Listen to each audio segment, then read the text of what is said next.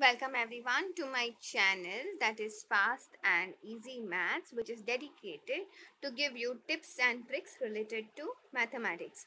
So if you're new to my channel then please hit the subscribe button and also hit the bell button besides it so that you get notified whenever I push up a new video. So students, today in this particular video, we are going to talk about two questions, okay? Uh, the second one, I think, was asked in one of the CAT exams. If I'm not wrong, it was a part of CAT 2019, but I'm not that sure about it. So, yes, and in this particular question was asked in one of the entrances and trust me, 99% of the students got it wrong. Okay, so here I will tell you where people made a lot of mistakes. And in the second one I realized that a lot of students wasted a lot of time because they could not read the full question properly. Or they rather didn't read the full question okay? That is what is the issue okay? So let's start with the first question.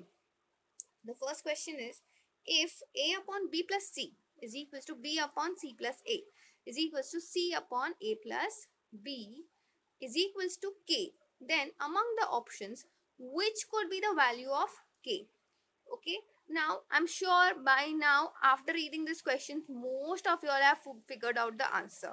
But i will tell you the answer is not none of these. Okay? I'm sure you must be surprised but yes the answer is not none of these. Okay?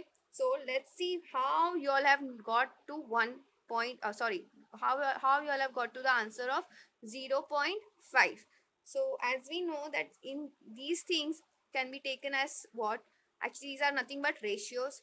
So you can directly add them. So we can say when you add, so you have A plus B plus C upon B plus C, A plus C and A plus B.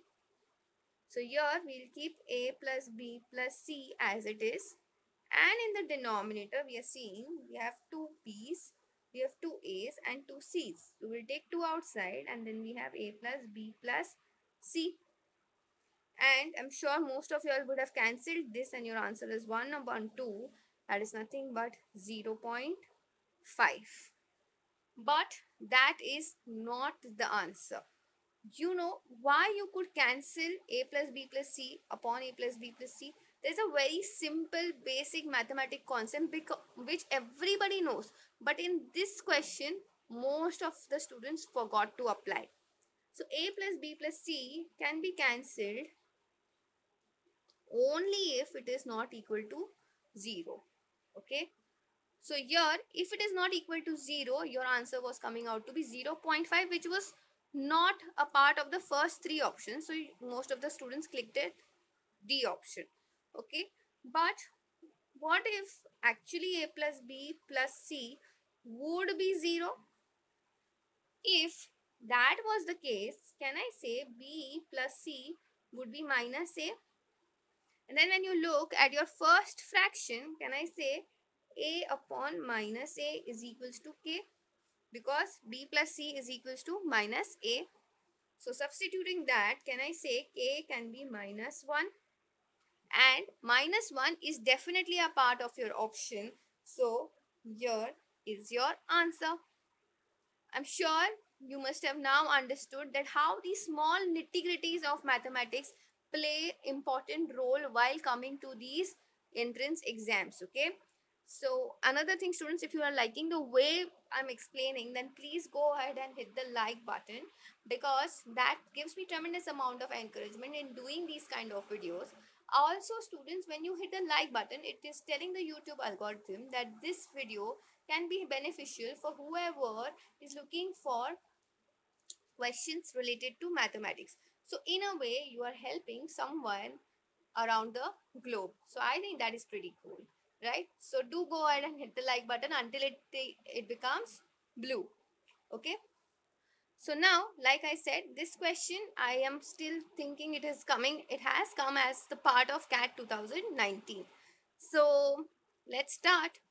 In a six-digit number, the sixth digit, that is the rightmost, is the sum of first three digits.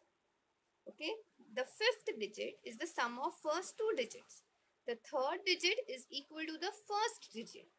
The second digit is twice the first digit and the fourth digit is sum of fifth and sixth digit. Then find the value of the fourth digit. Okay. So here, let's assume that my six digit number is A, B, C, D, E and F. And they have said that the six digit which is the rightmost. Okay, so F is equals to sum of first three digits. So A plus B plus C. Okay. Then the fifth digit that is E is sum of first two digits. So I can write it A plus B. Then the third digit is equal to first digit. So I can say that C is equals to A because that is my third digit. Then what have they said? The second digit is twice the first digit. So I can say that B is equals to 2A. Okay. And the fourth digit that is D is sum of fifth and sixth, E and F. Now you wanted to find the value of fourth digit. Now if you see everything can be written in terms of first digit. Okay. So I can write F as nothing but A will be written as it is plus B is 2A plus C is again one single A. So you have 4A and then E can be written as again A. B will be written as 2A. So you're getting 3A. So your final answer is 4A plus 3A is equals to 7A. I'm sure students you must be wondering what kind of mistakes students can get into while solving this kind of a question. So here in the options they had actually given other options as well okay? So instead of calculating for fourth digit people calculated for the last digit people calculated for the fifth digit. That is just simply not being completely attentive while reading your question. That is one thing i have seen lot of students are ending up losing marks on. So that is one thing i think all of you all should do is first thing when you read the question you pay full attention to the question and since over here, while I was explaining, I chose to read the question first and then I gave you the explanation. But when you're solving, the best thing would be you will just make small, small, tiny, tiny notes of whatever the data is given in your question. Also, another point you have to remember is that when you make these kind of notes, you make it in such a way that first thing it is completely readable to you at least don't make it in such a way that you are only not able to read it first thing. And the second thing while making these notes you have to ensure that you're covering all the data given in the question. Please do not make the mistake of missing out of even one single thing. This is one trick which i always apply in my logical reasoning session of section of cat okay whenever i teach all these students and in logical reasoning as you all must be knowing that we have like big big questions which has too much of data. So if that is the problem. When you have so much of data you tend to miss out on certain detailing okay? So that is the time when you should write down which you think that okay this is pretty important and which will be useful.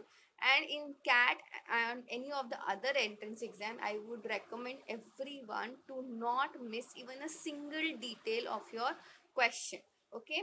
So i hope this thing is pretty much clear and from now on you all will never make the mistake of not reading your questions properly. Another thing students if you have any particular doubt in any concept of mathematics then please go ahead and put it in your comment section of this video. I will try to make a video on that as well. Okay?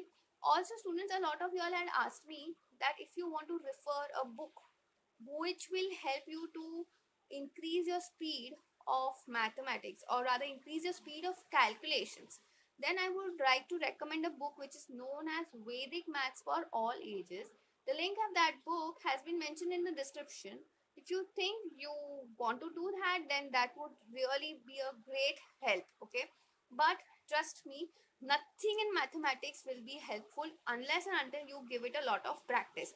So even all the tricks which i give in my videos and the tricks given in the book all of this will be beneficial only after you give enough amount of practice. I hope i have made myself very very clear on that part okay so yeah that's it for this video. Don't forget to like to this give a like to this video and share these videos with whomever you think this might be very very helpful.